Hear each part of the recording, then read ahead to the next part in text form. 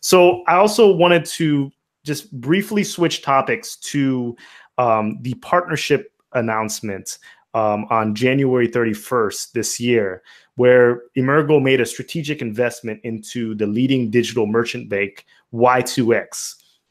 And people were asking about that in Telegram, and every time a partnership or a word is mentioned with association with Cardano, um, everyone puts on their um, CSI goggles and tries to figure out everything that's going on. So they want to know what exactly is Y2X and what exactly is the nature of the partnership between Emurgo and Y2X.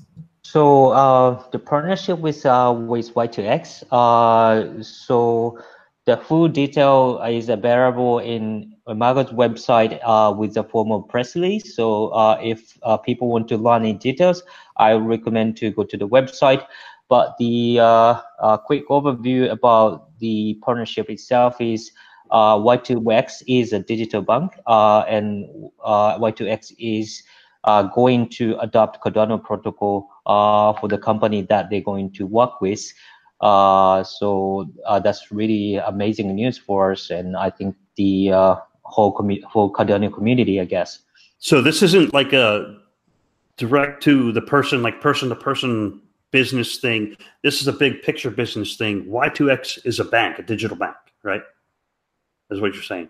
Hey, I've got a question, a little bit of a tangent. Have you guys heard in the last couple of days that some cryptocurrency company, the boss died and there's 180 million dollars worth of Bitcoin got locked up? Have you heard about that? Is that true? Yeah, that's Rick. the uh, largest exchange in, in Canada. I'm from Canada. I know a few people that have their funds locked up right now uh, behind a white page with black text telling them that their funds are no longer accessible. I wow. I've heard otherwise as of recently that this may be a hoax and the guy did not pass away and the funds are on the move. So, you know, crypto is a wild west. So, I don't know, 190 million dollars that seems like it could be one of those um those crime documentaries later in life that someone's going to find a new identity. But if that's not the case, I I'm I'm 100% sorry. But you know how um, news floats around; it's hard to verify. It the story seemed a little bit fishy to start off with. That one guy held the private keys for the mm. entire exchange, but who knows? That's what I thought too. And the only reason I brought it up is because I had several people message me and say, "Hey, did you hear about this lockup?" And I thought, doesn't multi-signature solve that problem? Like if three out of five people say yes, this is an authorized transaction, it can go. That way, if if you lose any one person, you don't lose all the funds. And the first thing I thought is, oh, that sounds like a hoax. Now, not to distract from the Y2X thing, but basically, Y2X is a digital bank, and I'm assuming they have all kinds of they'll have uh, protections in place and procedures in place to protect people's funds. And if you need like vault services for large amounts of cryptocurrencies, is that what Y2X does? Like if, if you have a very large quantity or you're using it as a commodity? Uh, I don't, I'm trying to understand what they do. Do you know what they do or can you tell us about that, Murasaki?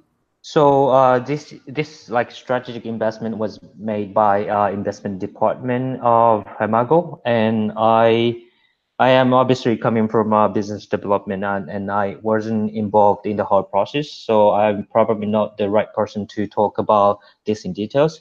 So, uh, but I, I had a discussion. I, I had a, I had a chat with a CIO and I, I guess the idea is uh, Y2X is going to adopt Cardano protocol uh, for the company that would like to issue security token.